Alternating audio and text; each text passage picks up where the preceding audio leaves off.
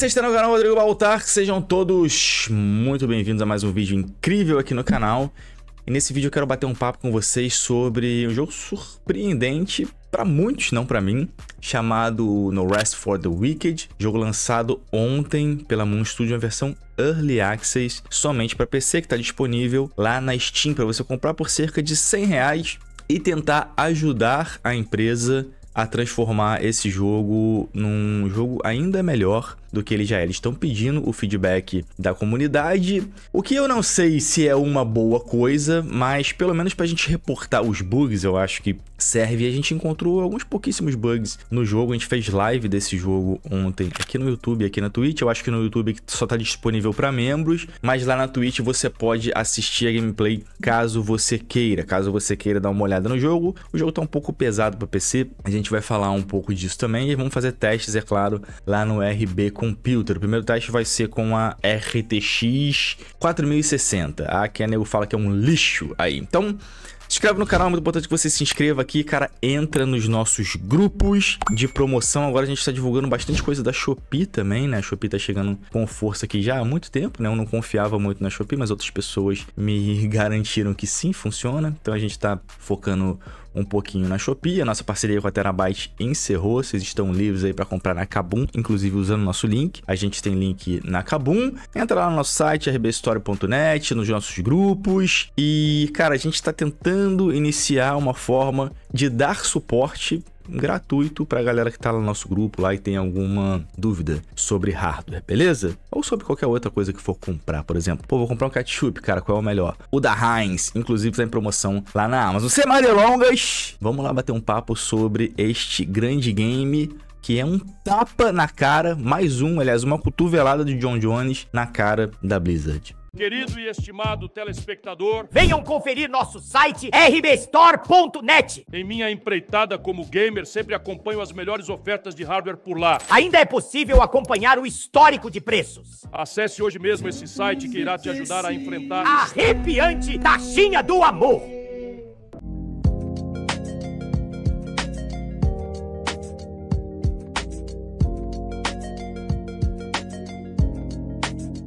Então vamos lá, pessoal. O jogo foi lançado ontem para PC. Eu recebi a chave dos desenvolvedores do jogo. Alguém me postou lá no Twitter, né? Falou assim que voltar para não ficar chorando depois que não recebeu. Eu vi lá onde estava sendo disponibilizado o jogo, me candidatei, recebi a chave desse jogo que quando ele apareceu pela primeira vez, se eu não me engano, foi na E3 ou foi naquele evento lá do GOT, alguma coisa assim. Todo mundo ficou, cara, de olho porque parecia realmente ser um jogo muito promissor. E quando foi falado que esse jogo era dos desenvolvedores de Ori 1 e Ori 2, que cara, pra mim, pra mim compete ali eu- no gênero dele, de fato que é o Metroidvania, pra mim ele é o melhor de todos disparado. Mas quando você bota ali jogos de plataforma, eu acho que ele disputa ali com Rayman, por exemplo. Porque Rayman é, é- é absurdo, né? O Rayman é, desde o primeiro Rayman lá de 95, o Rayman se destaca como um excelente jogo.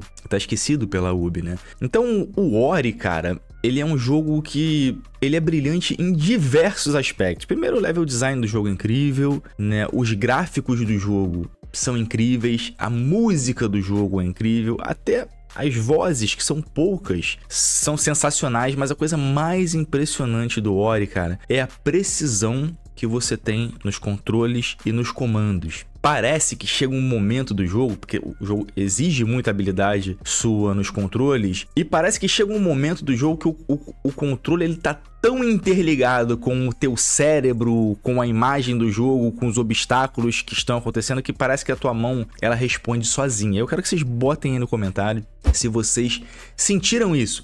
Você vai vendo um monte de coisa na tela assim vindo, caindo, você tem que escapar e você vai porque você tá, tá ali completamente imerso na parada e os comandos é- são tão perfeitos que parece que eles estão vindo diretamente do teu cérebro e não do, do teu dedo, né? E, cara, quando eu vi, né, e quando a galera viu que esse jogo era um dos criadores do Ori, a gente falou, porra, cara, é, tem coisa aí, porque o trailer foi muito pequeno, né? E o jogo, ele é um jogo Souls, mais ou menos Souls, né? Não é um Souls, mas é um Souls isométrico, né? É um jogo como se fosse uma evolução do Diablo. E uma evolução que eu já vinha pedindo há muito tempo né? Porque o Diablo, ele é a mesma coisa basicamente desde o primeiro Diablo e um jogo daquele estilo ali, quando não evolui tecnicamente, ele acaba se tornando um jogo de celular, um jogo de Game Pass. Por exemplo, se você vê o tal do Diablo Immortals, ele é, na minha opinião, a gameplay é basicamente igual a do Diablo 4, que eu fiz vídeo aqui no canal e detonei o jogo porque eu consegui zerar o jogo usando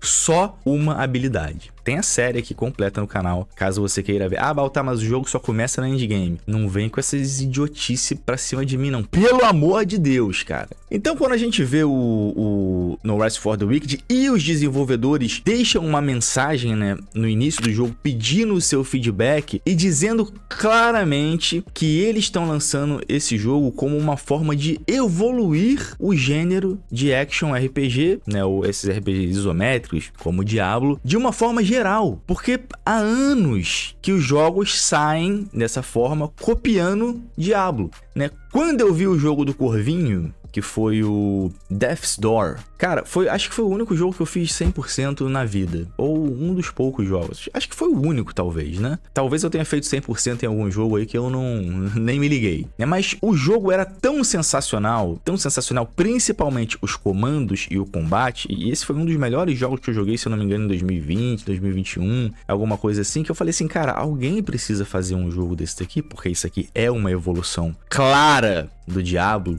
né? Alguém precisa fazer um jogo desse com personagens maneiros, com um gráfico melhor, com uma história mais elaborada. Alguém precisa fazer um RPG grande nesse estilo aqui. Blizzard, vamos lá! Vamos dar o ar da graça aí, porque quando a gente espera alguma coisa desse tipo, de um jogo isométrico, por exemplo, a gente pensa logo na Blizzard, né? Que foi a empresa responsável por me tornar um jogador de PC. Né? Então, quando eu vi o, o No Rest for the Wicked, que eu comecei a jogar, né? Os gráficos do jogo são, cara, os cenários são muito bem feitos e você consegue fazer coisas lindas, cara, com, com o jogo isométrico, né? Você bota os detalhezinhos ali pequeno e tal no cenário, cara, é muito bonito. O jogo é muito bonito. Embora eu só tenha visto basicamente é, um mapa, né? Um cenário. Mas tudo ali no jogo é muito detalhado. A gente começa ali no barquinho e tal. O barco é muito detalhado. Os personagens embora eles sejam detalhados, eles são personagens bem caricatos, os personagens do jogo. O nosso personagem é um personagem que você pode montar ele, e para mim aí vem o primeiro problema. Né? Esse jogo, na minha opinião, exige que você tenha um personagem vivo e não um personagem sem alma ali, casca vazia, embora isso não tenha me atrapalhado em momento nenhum no jogo. Mas eu acho que seria mais legal que você tivesse um personagem que participasse diretamente da história ali como um, um, personagem ativo e não um cara passivo ali que tá vendo toda a história acontecer e não emite uma opinião. Mas os personagens, embora caricatos, eles são muito bem feitos, né? E você pode, claro, como todo jogo de, de RPG nesse estilo, colocar várias roupinhas, luvinhas, vários tipos de armas diferentes, magia. Vocês sabem que eu nunca jogo jogo de RPG assim como mago e tal, sempre tem um mago no grupo, né? mas eu nunca jogo com o meu personagem principal. Dark Souls, por exemplo, eu nunca nem testei jogar com mago e cara, nesse ficou perfeito. Né? Ficou muito bom ali os comandos para você poder dar as magias. Cara, ficou muito bom muito bom. Então é um jogo que ele encanta você assim que você bate os olhos. Se você gosta de um jogo desse estilo, se você gosta de um jogo de, de RPG isométrico, quando você bate o olho, você fala, cara, tá tudo muito bem feito aqui. Né? E os comandos, assim como do Ori, são perfeitos. Perfeitos. Mas uma coisa que me chamou mais é, atenção, assim, e que eu não esperava, e tipo, me surpreendeu positivamente, assim, cara, é, eu acho que o jogo tem uma das animações, né, as CGs, né, as partes do filminho da Sony, mais bonitas que eu vi em muito tempo, né? Embora os personagens sejam caricatos, tá muito bonito, cara muito bonitas, as animações estão incríveis. Incríveis. E isso é o que de fato acaba trazendo uma profundidade a mais para a história e que te aproxima dos personagens. Por isso que eu acho que, pô, um jogo tão bem feito como aquele ali, ah, talvez seja difícil pros caras criar, pô, bota um, não sei, botar uma voz, alguma coisa assim, é lógico que é muito mais difícil, né? Você tem que ter um ator ali, um, dublê e tal, um, um cara que faça a voz. E isso encarece muito o jogo, pô, mas eu acho que merecia muito, cara, muito. Só que hoje em dia a gente está num momento em que as pessoas prezam muito por se criar dentro do game, né? Então talvez quando o jogo saia aí vai dar para tu criar um personagem eludelo, porque ainda não dá, né? E eu acho que o personagem merecia um, um, o jogo merecia um personagem fixo, né? Ah, não importa se vai ser homem ou se vai ser mulher, cara, mas tinha que ter um personagem ali. Já tem uma personagem feminina no jogo, né, que é bem maneira e muito bem feita. Eu acho que o nosso personagem poderia ser um personagem masculino ali que trouxesse mais profundidade a história. E cara, quando eu falo que um jogo desse é um tapa na cara, por exemplo, da Blizzard, além da qualidade técnica que é, por visível, né, e sentível a partir do momento que você pega no controle e sente que os comandos funcionam perfeitamente, toda vez que a gente gente vê um jogo assim, a gente lembra, por exemplo, do Diablo, lembra do Warcraft, né? Lembra que a Blizzard destruiu ambos e lembra também da qualidade que a Blizzard tinha nas suas histórias, nos seus personagens, nas animações, né? nas CGs da Blizzard, tanto do StarCraft quanto do Warcraft. Era uma coisa assim que você via em pouquíssimos jogos. E eu sempre fiquei no sonho, né? Eu sempre tive esse sonho. Eu gostava muito do Warcraft e tal, mas eu imaginava assim, pô, imagina um Warcraft tipo o Diablo, né? Você tem os personagens do Warcraft, um mundo do Warcraft, tipo Diablo, que você pode escolher entre jogar com os humanos, que você vai ter uma campanha, você pode escolher para jogar com os orcs, que você vai ter uma outra campanha totalmente diferente, com personagens é, criados ali, personagens do mundo do Warcraft, onde esse jogo fosse um RPG amplo, né? Onde você chegasse numa cidade e você conversasse com as pessoas e as pessoas falassem com você, e as pessoas te reconhecessem, e você entrasse numa taberna e você dormisse e você pegasse missões secundárias, que fosse uma coisa realmente densa e complexa no universo do Warcraft. A Blizzard poderia fazer isso com o Diablo, né? Não é no mundo do Warcraft? Beleza, mas a gente aceita, desde que seja bom. Só que o Diablo não é bom. O Diablo virou um jogo de celular. Cara, é muito triste dizer isso porque eu joguei desde o primeiro, né? Tudo bem, eu não joguei o segundo, porque depois que eu joguei Baldus, tudo que eu vi no Diablo ali, né, acabou ficando em segundo plano, mas eu joguei o terceiro e joguei o quarto também. E e o jogo não mostra para mim nenhuma evolução. E quando você vê o que a Moon Studios tá tentando fazer, é algo que você tem que aplaudir de pé. De pé, porque os caras estão pegando um gênero que existe, que é estabelecido e que as pessoas ficam ali copiando, copiando, copiando, copiando, copiando e lançando um monte de porcaria igual, igualmente ruim, e melhorou, né? Melhorou o combate, melhorou a forma de você soltar a magia, melhorou a interação com os personagens. Tem coisas para você ler. Cara, a história do Diablo é maneiríssima, mas você não chega num lugar, num, numa dungeon, numa igreja e tal, não tem nada para você ler, nada. Tipo assim, você fica ali voando na parada. É, a história é rapidinho e é um pano de fundo ali para você partir para combagem. Nada do que tá ali na história importa. E o que é mais bizarro é que isso não importa importa nem pros jogadores. Ah, Baltar, mas o, o, jogo sempre foi assim. Pô, mas eu quando era uma criança ali retardada de, de 10 anos, quando eu jogava o Diablo é, 1, eu não percebia que o jogo era isso. Para mim era um jogo que tinha uma história maneira, que você ia conhecendo as coisas ali, os personagens, era isso que eu via no jogo, né? E eu sempre imaginei também, desde pequeno, que o Diablo poderia ser muito maior,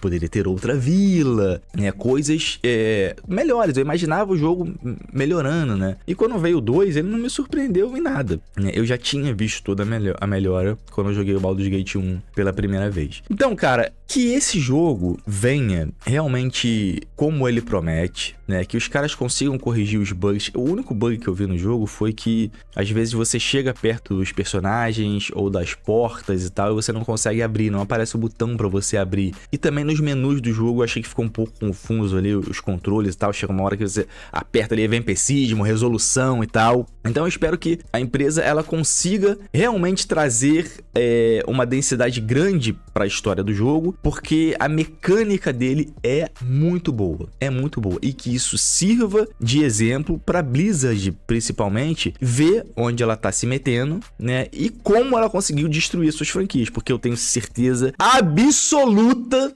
absoluta que se a Blizzard pega esse jogo e fala assim, mostra assim, Warcraft 4, vai explodir o mundo. Né? Vai explodir o mundo. Não tem como você dizer que não. Bota aí um Lotar, um, sei lá, um Arthas, mas até mataram Arthas. Eu não sei meio que, que aconteceu no jogo, né? Já tinha morrido no 3, na verdade, eu acho, né? Mas tem inúmeros personagens. Nem que seja para você continuar a história do WoW né? Que eu nem sei o que aconteceu, mas que tem várias coisas para você poder entender o que aconteceu nesse tempo todo perdido aí de WoW, pelo menos na minha opinião. E que, é claro, outras empresas também possam se espelhar nesse jogo, porque o jogo ficou muito bom, cara. O combate é muito bom, o controle é muito bom, os gráficos são muito bons, as, as animações são muito boas, as vozes são muito boas. O jogo é um espetáculo, assim como o Ori assim como o Ori. Os caras quiseram inovar no Ori e criaram o melhor jogo Metroidvania que a gente tem até hoje. E agora os caras vêm inovar nesse estilo Diablo e estão muito provavelmente criando o melhor jogo que a gente tem no estilo. Em relação ao jogo, jogo acho que vai estar disponível para todas as plataformas, não sei. Não sei se a empresa foi comprada pela Microsoft, provavelmente não foi comprada, né? Porque senão o jogo seria horrível em primeira pessoa. Mas eu pensava que essa empresa era da Microsoft. E se tinha uma empresa que a Microsoft deveria comprar, seria essa, não Activision, é, Bethesda, essas porcaria aí que já estão em decadência há séculos, né? Deveria pegar os estúdios que falam, pô, esses caras são bons, cara. Pô, se a gente investir um dinheiro nesses caras aqui, a gente consegue criar um jogo em primeira pessoa foda. Poderia fazer isso, mas ainda bem que a Microsoft não fez. Ainda bem. Então, por que, que eu espero alguma coisa da Blizzard? Porque essa empresa, por exemplo, ela não tem, provavelmente não tem grana suficiente e os caras estão fazendo mais ou menos como a Larian fez com Baldos, para poder soltar o jogo completo de primeira, né? Então os caras fizeram um Early Access provavelmente para poder é, angariar grana, para poder terminar o projeto. Eu não sei até onde vai esse Early Access. Eu não quero nem ver muito do jogo, eu quero jogar a versão completa. Assim como Baldos, eu não joguei o, o Early Access, nem quis ver, porque tava horrível. Lembra dos personagens no Baldos? Falei assim, cara, tá, isso aqui tá horrível. Eu achei que o jogo ia ser uma bomba, né? Mas quando saiu, os caras trabalharam tanto em cima daquilo ali que ficou incrível. Né? E, e me surpreendeu, pelo que eu vi no Early Access e pelo que eu vi na, versão final. Então espero que eles consigam fazer algo bacana. Agora, quando é no caso do a Blizzard, por exemplo, a Blizzard ela pode simplesmente falar assim: não, vamos fazer isso aqui e entregar uma parada completa, né? Será que é muita doideira na minha cabeça? Né? Ou, ou as empresas estão mais interessadas em fazer é, um Diablo cheio de microtransação, que vai prender o jogador ali ficar 10 anos jogando aquela porcaria ali até sair o próximo Diablo? Cara, é, eu me surpreendi há pouco tempo, porque quando o Diablo saiu no Game Pass, a galera falou assim: pô, aquele cara que zoou o teu canal, não lembro, não, não era Iron de Ferro, não. Era um cara que zoou o canal aí que falou que eu não sabia, não sabia jogar Diablo, não entendia, blá blá blá. E não entendia mesmo, né? Mas zerei o jogo com apertando um botão só. A gente foi ver, tipo, isso tem o quê? Duas semanas? A gente falou assim: pô, será que ele tá jogando Diablo ainda? A gente tava em live. Eu entrei no, no, no site do cara no, no, no, YouTube.